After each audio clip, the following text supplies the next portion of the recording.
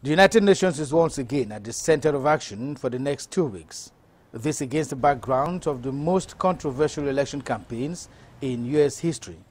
However, beyond the effervescence of the campaigns, Manhattan in general and First Avenue in particular, the seat of the UN building, is completely calm this weekend. The streets are near empty, but for a few taxis and personal vehicles.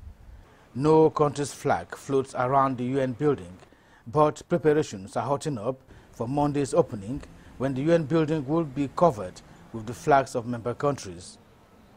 For now, delegations are queuing up for accreditation. It takes patience to have one. I just got mine and therefore ready for Monday's opening. For now, entry into the UN building is prohibited. The gates are manned by UN security forces and all attempts to have access are foiled by the dry face and emotionless security officials.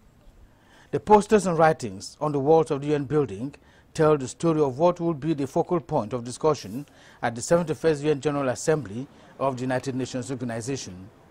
Aside the general debates, the question of how to manage refugees and migrants will be at the center of discussion and the hodgepodge of political deliberations.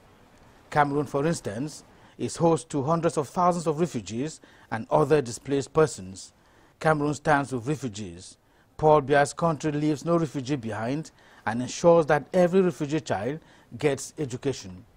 This perhaps explains why President Paul Biya is going to be the trump card at this year's General Assembly and for his country to stand tall, in fact even taller than the Trump building in Manhattan, I mean in matters of refugee management. George Ewane, special assignment for CRTV News, UN General Assembly, New York.